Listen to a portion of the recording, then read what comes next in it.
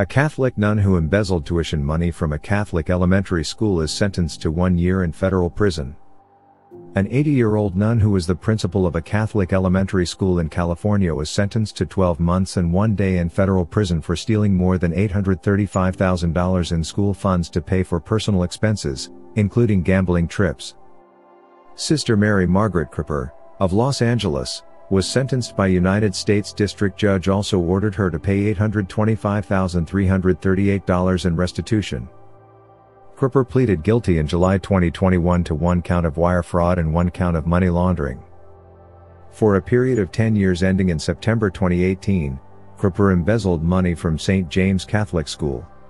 As principal, a position she held for 28 years, Kreuper was responsible for the money the school received to pay for tuition and fees, as well as for charitable donations.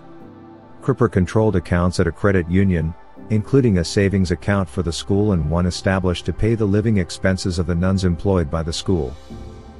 Kreuper, who as a nun had taken a vow of poverty, diverted school funds into the St. James Convent account and the St. James Savings account and then used the diverted funds to pay for expenses that the order would not have approved, much less paid for, including large gambling expenses incurred at casinos and certain credit card charges, according to court documents. Kreuper falsified monthly and annual reports to the school administration to cover up her fraudulent conduct and lulled St. James School and the administration into believing that the school's finances were being properly accounted for and its financial assets properly safeguarded, which, in turn, allowed defendant Kreuper to maintain her access and control of the school's finances and accounts and, thus, continue operating the fraudulent scheme, according to court documents. Kreuper also directed St. James School employees to alter and destroy financial records during a school audit. On an annualized basis, approximately $83,000 per year, Kreuper stole the equivalent of the tuition of 14 different students per year, prosecutors argued in a sentencing memorandum.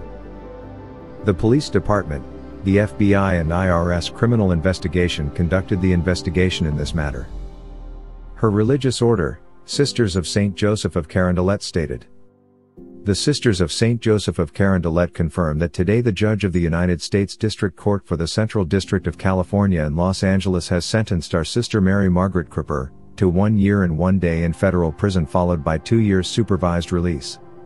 Sister Mary took responsibility for her actions by pleading guilty, Today, she has been held accountable by the United States criminal justice system. Justice for others and for ourselves is a deep value held by the Sisters of St. Joseph. We also deeply value relationships. Our community is deeply saddened by the pain and difficulty Sister Mary's actions have caused for the parents, administration, staff and students of St. James School in Redondo Beach, California and the Archdiocese of Los Angeles. We pray that in time those impacted will find healing and the seeds of forgiveness. Please subscribe to Catholic News World's YouTube channel. Thanks and God bless.